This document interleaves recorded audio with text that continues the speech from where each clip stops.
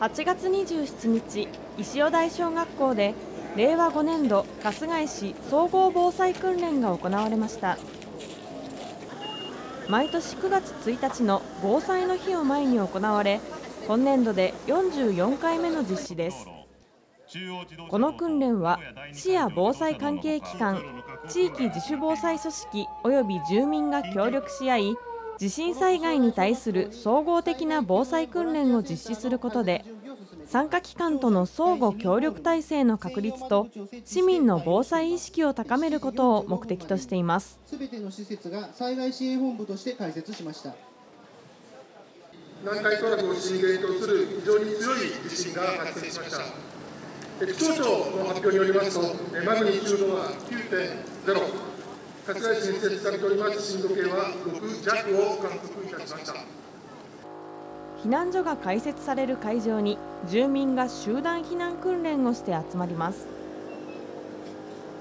避難所から遠方となる地域住民の安全な避難を確保するためのバスによる被災者輸送も行われました。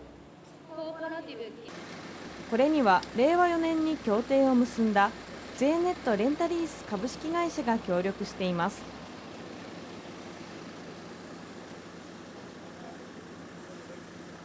400名の集団避難を終了しました。同じく昨年協定を結んだ堀尾物産株式会社は緊急車両の円滑な通行を確保するため通路上の車両のレッカー移動を訓練しました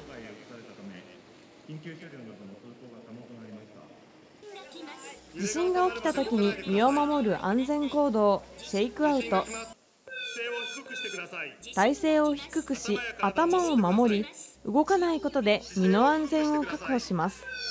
頭や体を守ってください。揺れが収まるまで動かないでください。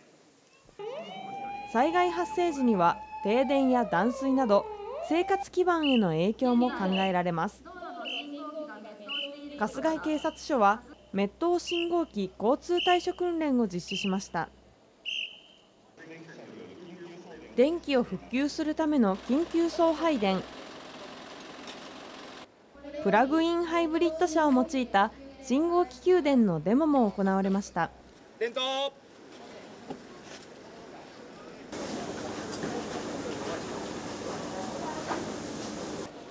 今回の総合防災訓練のテーマ高めよう自助。つなげよう共助。地域住民たちも力を合わせて訓練します。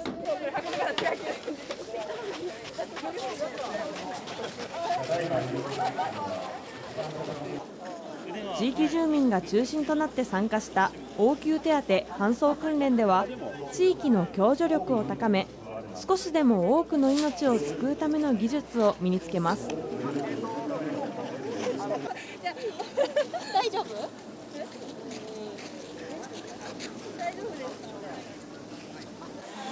なんかなかなか見れないことばかり。単位は学校でいいから、その他学校でいいから。いい経験でした。必要な経験でした。すいません、もう一人トリアージお願いします。二次トリアージです。大規模地震により同時に多数の傷病者が発生したと想定し行われたのは災害医療救護訓練です春日井市医師会や春日井市民病院などが連携して症状の緊急度に従って優先順位をつけるトリアージと応急処置を行いました。避難生活での水の調達やいざという時の調理方法について知っておくことも大切です。炊飯袋はお米と少量のきれいな水があれば温かいご飯が食べられる便利な災害用品。合同炊き出しでその活用方法を学びました。防災の基本は日頃からの心構えと日頃からの備え。ぜひ一人でも多くの方に防災必要なこと一人でも多くの皆さんに伝えていただきたいと思います。この日は地域住民などおよそ1200人が参加し災害時にできることや助けるために必要なことの多くを学ぶ機会となりました。